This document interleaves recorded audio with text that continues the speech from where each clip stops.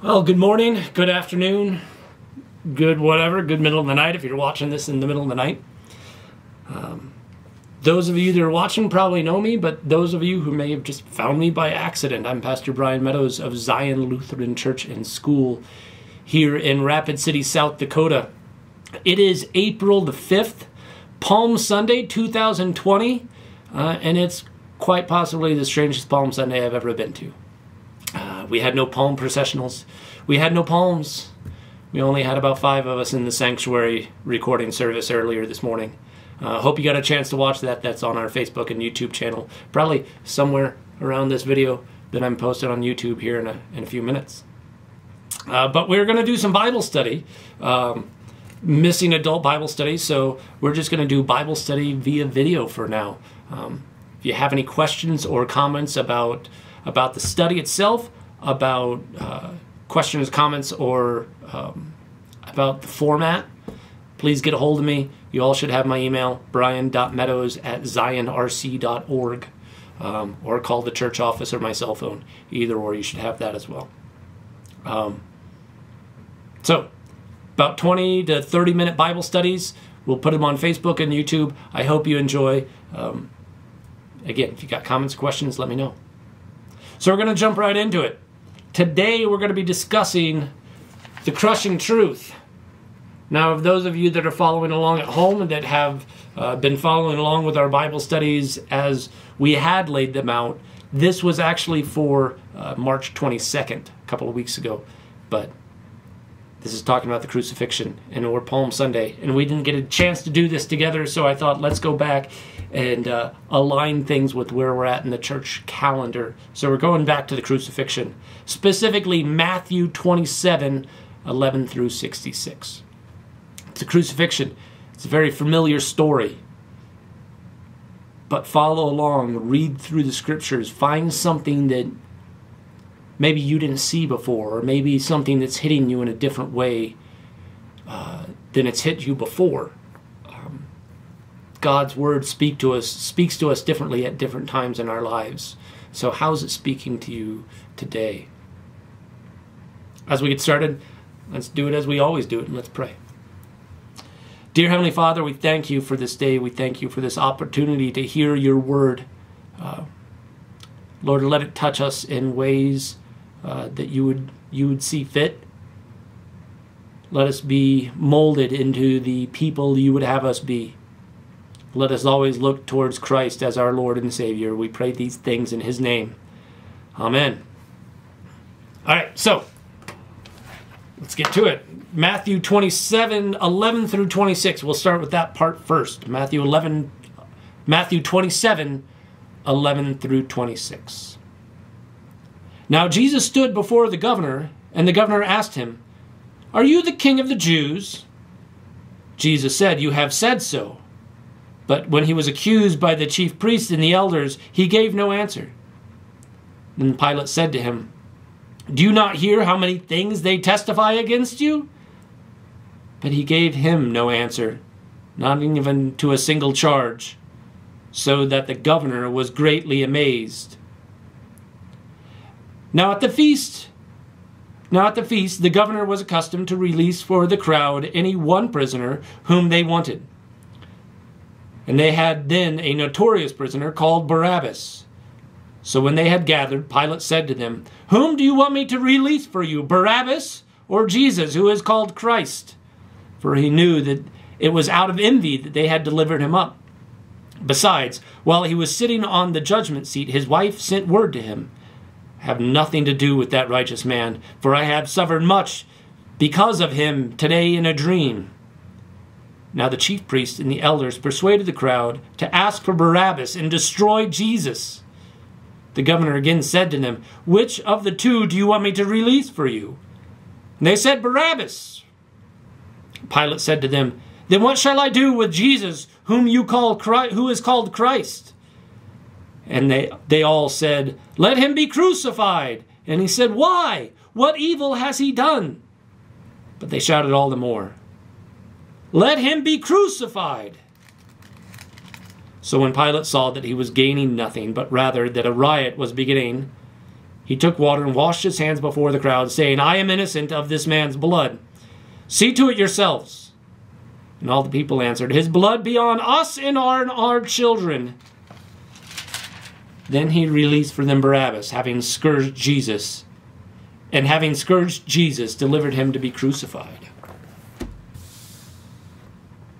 Okay, so what I would encourage you to do at this point, uh, sometime after this video, go through Luke 23 and John 18 and compare Luke and John to Matthew's account of, of Jesus and Pilate's interaction. There's some interesting things of how each one shows shows this interaction in different light on, on how they're what themes they're trying to push.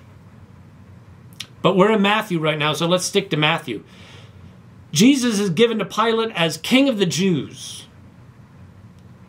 Now, the accusation the priests are, are weighing against him when they're in their, their private session, before they hand Jesus over to Pilate, they're saying he's blaspheming, that he's calling himself God, and that because of the blaspheming, he needs to be put to death.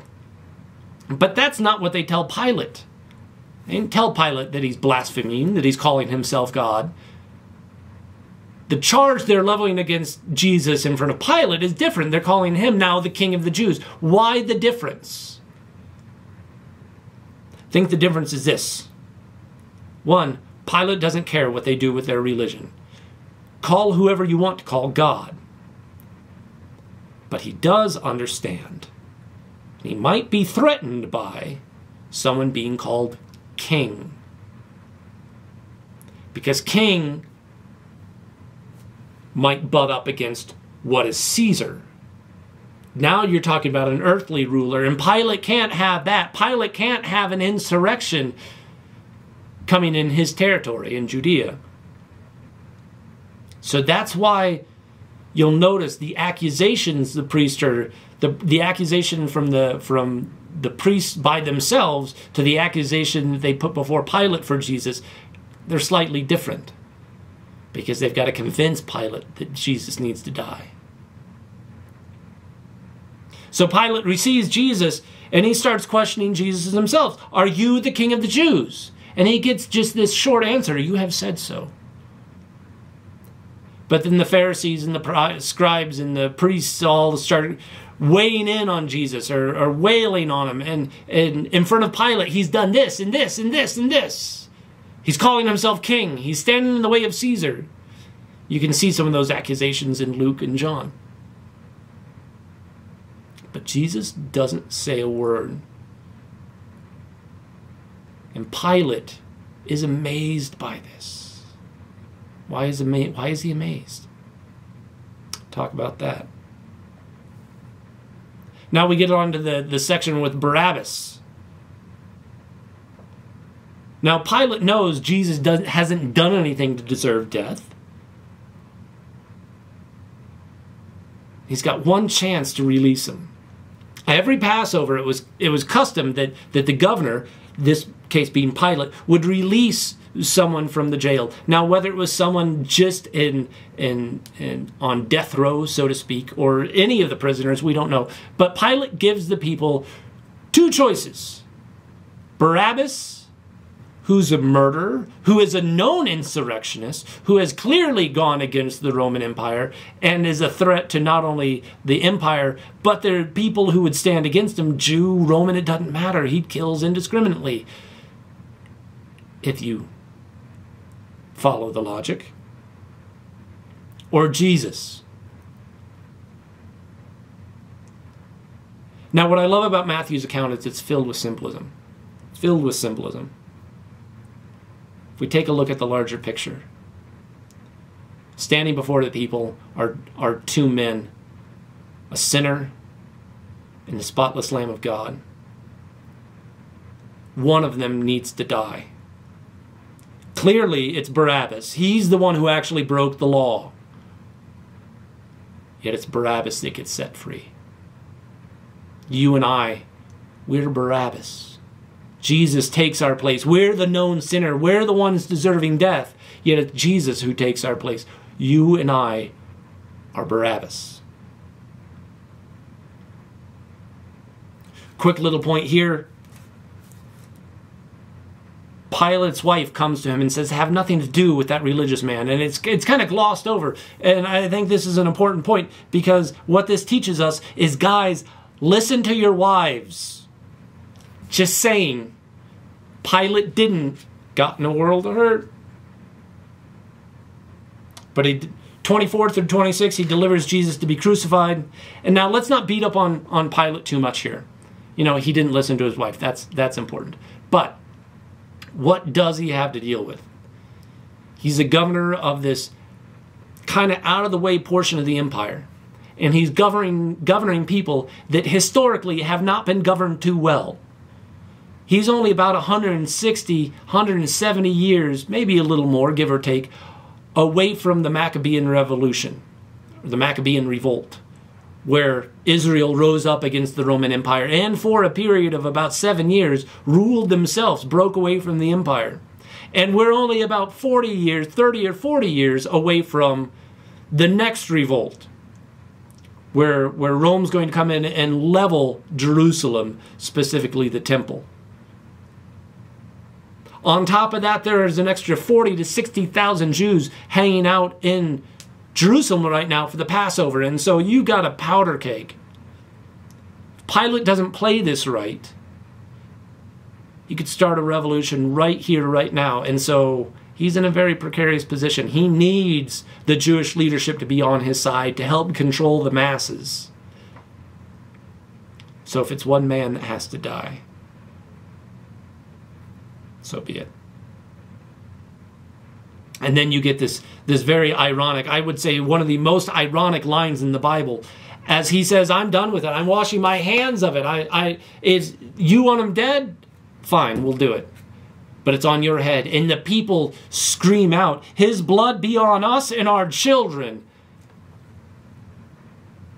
Really it's exactly what was happening but in a completely different way than they understood in fact, that's what we pray. We pray that His blood be on us and our children. We pray, pray that that blood washes away our sins as we know it's going to. They don't know that.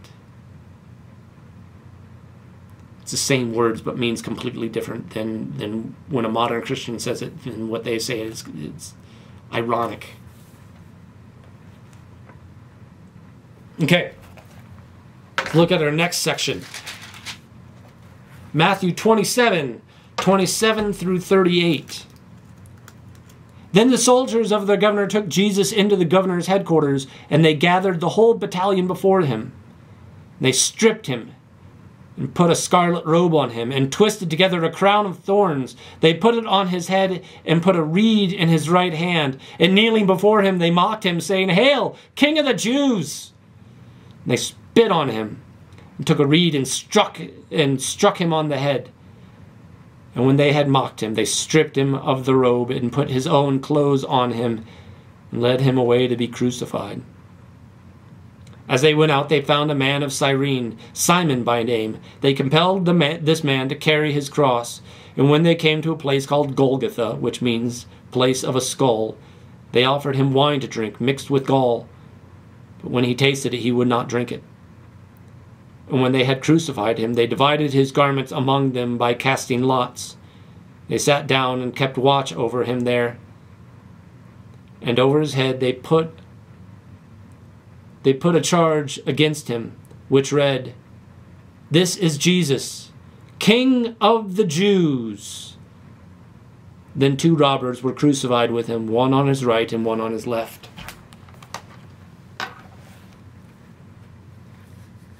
Now, what do you say here? I mean, Jesus is, is has already been whipped. That's what scourging means in, in verse 26. He's been whipped. And now, taken in front of a whole battalion of soldiers, we're talking about 600 men, give or take. 600 men surround Jesus. I mean, this the whole site's disgusting. They surround Jesus. They beat him some more. They mock him. Here's where we get the, the crown of thorns pull from a bush somewhere in the in the courtyard. They lay this robe on top of him, which can't have felt good at all with his back already ripped to shreds. All this is coming up to the cru- crucifixion is the reason why we need the crucifixion. It is the, the picture of, of the vileness, the depravity of a fallen humanity. Verses 32 through 38, we get Simon of Cyrene, who's drafted to carry the cross. Jesus is offered the wine mixed with gall, which is probably a narcotic, something to ease the pain, but he refuses. Why? Why does Jesus refuse? Think about that. Talk about that if you would like. At any point, if you want to pause the video to talk about one of these questions amongst yourself, go for it. Or watch the video and, and talk about it afterwards. Your call. You're the one with the you're the one in control. In this verse 35, and they crucified him. They divided his garments among them by casting lots. Now, here's the thing about this verse. When the original readers read this verse, when they read this line, they would have immediately be, been taken back to Psalm 22, verse 18. Now, remember that psalm. We're going to come back to it in a second. But here's your moment of reflection after this, these verses you read through the suffering of Jesus, the suffering that Matthew portrays in his gospel, what sticks in your head? Again, we've we've read this several times. You we've grown up with this as the central story to Christianity, but what sticks with you this time, specifically about his suffering, about the way he was beaten, the way he was hung, the way he was abused? And why do you think that's sticking in your mind today? Okay. Let's go on to our next part. Matthew 27 39 through 56. Excuse me. And those who passed by derided him, wagging their heads and saying, You who would have destroyed the temple and rebuilt it in three days, save yourself. If you are the Son of God, come down from the cross. So also the chief priests, with the scribes and the elders, mocked him, saying, he saved others. He cannot save himself.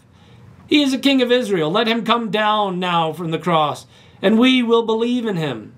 He trusted in God. Let God deliver him now if he desires him. For he said, I am the Son of God. And the robbers who were crucified with him also reviled him in the same way. Now from the sixth hour there was darkness all over the land until the ninth hour.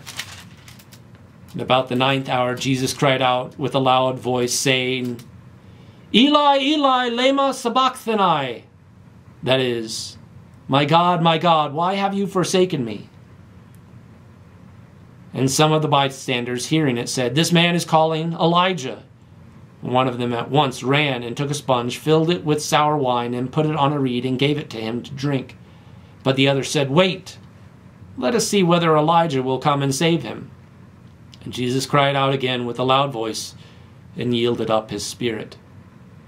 And behold, the curtain of the temple was torn in two from top to bottom, and the earth shook, and the rocks were split. The tomb also, and the tombs also were opened, and many bodies of the saints who had fallen asleep were raised. And coming out of the tomb after his resurrection, they went into the holy city and appeared to many. When the centurion and those who, who, were, who were with him, keeping watch over Jesus, saw the earthquake and what took place. They were filled with awe and said, Truly, this was the Son of God. There were also many women there looking on from a distance who had followed Jesus from Galilee, ministering to them, ministering to him, among whom were Mary Magdalene and Mary the mother of James and Joseph and the mother of the sons of Zebedee.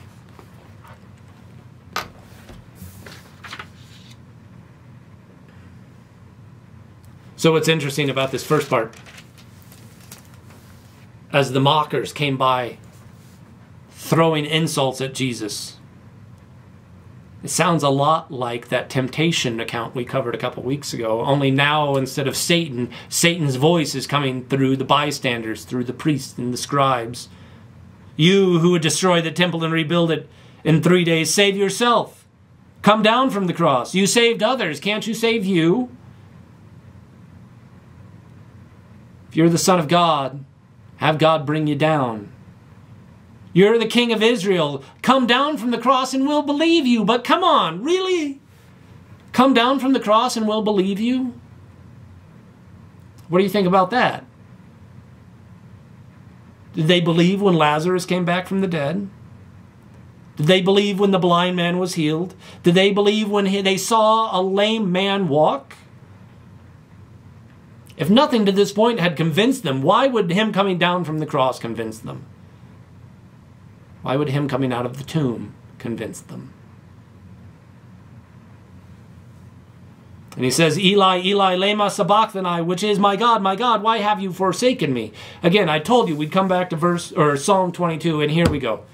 Again, go through and read Psalm 22 sometime this week. What you're going to find is the very first verse of Psalm 22 is Eli, Eli, lema sabachthani, which is, My God, my God, why have you forsaken me? And then we have the Psalm, the verse 18, dividing up his garments. Now, here's the thing when Jesus says this, the scribes and the priests that might still be there, they know. They know where he's getting this verse. They know it comes from the Psalms, and they know what this psalm says. So, yes, he is saying, My God, my God, why have you forsaken me? Yes, God has forsaken his son on the cross. That's the whole deal. That's the point. That's why we can be here, because Christ has saved us. God has saved us through his son. But here's a dual meaning, if you'll follow when you read Psalm 22, it's it's pain and it's anguish. It is God abandoning his son. But when you get to the end of Psalm 22, it's hope. It describes the victory through God the Father. Now, here's the thing the scribes and the priests and the, the Pharisees, they know the end of Psalm 22. So when Jesus says the first line of Psalm 22, in their minds, they can get to the end of Psalm 22. Jesus is. Maybe I'm reading into it. Maybe I'm not. I don't know. But I think Jesus is doing a little taunting from the cross. You think you have won? God wins. God will be victorious. And I'm the Son of God. Now, here we go. Verses 51 through 54 we get some amazing symbolism here. This is awesome. Uh, again, the symbolism of you and I being Barabbas, Christ taking our place, Barabbas being set free, you and I being set free. That's the symbolism we saw earlier. Now we see the temple curtain rip in two. The temple curtain that that separated the temple common space from the holy of holies, from where God dwelt, and now the curtain is ripped in two and fallen off. There's no longer anything that separates man from God. God has come and come to his people. He's removed sin and death, that which separates us from God. We're now in his presence. Don't need the temple curtain anymore. The bodies of the saints who had fallen asleep, who had died, are now raised. I mean, this is the whole point, isn't it? This is the point of Jesus dying on the cross, so that death no longer means anything. Oh, death, where's your victory? Where's your sting? Where's your permanence? It's gone. We're going to follow these men and be resurrected. More so, we're going to follow Christ, who's going to be resurrected on Easter. And where these men will pass away again, Christ doesn't. And neither will you and I on that resurrection day. And then we get to the end where the Roman Gentiles the Roman Gentile guards who've watched this whole thing unfold now recognize Jesus for who he really is. Okay, let's finish up. Matthew 27, 57 through 57 through 66. When it was evening, there came a rich man from Arimathea named Joseph, who also was a disciple of Jesus. He went to Pilate and asked for the body of Jesus. Then Pilate ordered it to be given to him. And Joseph took the body and wrapped it in a clean linen shroud and laid it in his own new tomb, which he had cut in the rock. And he rolled a great stone to the entrance of the tomb and went away. Mary Magdalene and the other Mary were there sitting opposite the tomb. The next day, that is, after the day of preparation, the chief priests and the Pharisees gathered before Pilate and said, Sir, we remember how that impostor said while he was still alive, After three days I will rise. Therefore, order the tomb to be made secure until the third day, lest his disciples go and steal him away and tell the people he has risen from the dead. And the last fraud will be worse than the first. Pilate said to them, You have a guard of soldiers. Go and make it as secure as you can. So they went and made the tomb secure by sealing the stone and setting a guard.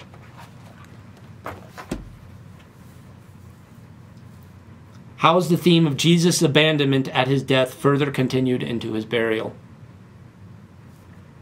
2 Corinthians 5:21 For our sake he made him to be sin who knew no sin so that in him we might become the righteous of God. What's sin? Sin is that which breaks us out of relationship. Relationship with God and relationship with fellow man. And so if Jesus became sin, we've already seen where he's been abandoned by God. And now in his death, he's buried alone. His disciples have run, his friends are gone. Only a few women remain. That's what sin does. It destroys our relationships. It, it isolates us. It puts us alone. And Jesus became sin. And so he was buried. He died alone. He was buried alone, forsaken by all. And Jesus is laid in the tomb. The tomb is sealed. Guards are posted. Everyone's gone. Their hope is gone. And the stage is now set for the greatest miracle this world has ever seen or will ever see until we see Christ return.